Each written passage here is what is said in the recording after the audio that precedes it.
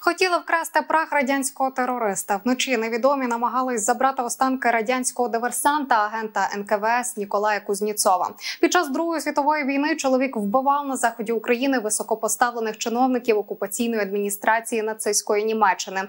На терористичні акти Кузніцова в Рівному і у Львові німецька влада зазвичай відповідала масовими репресіями проти українців.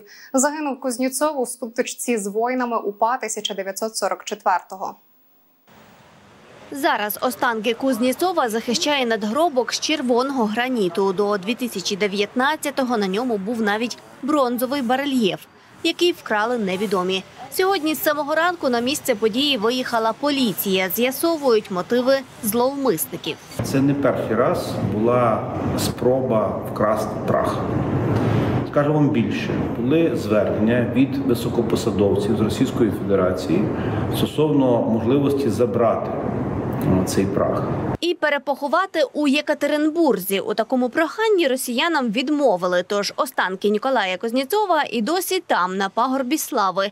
Львів'яни ж мають свої припущення, кому знадобився прах НКВСівця та що робити з меморіальним комплексом далі. Це пам'ятник більше мені здається якимось окупантам, визволителям та якихось радянських наративів, ніж людям, яких е, нам варто пам'ятати. От Москалям, напевно, треба забрати його.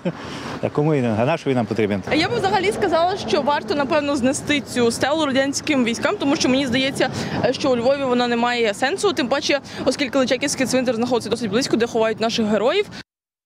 Зазначимо, що вже за незалежної України радянський терорист Ніколай Козніцов посмертно отримав дві нагороди: 1999-го медаль захисту вітчизни та 2004-го медаль 60 років визволення України від фашистських загарбників.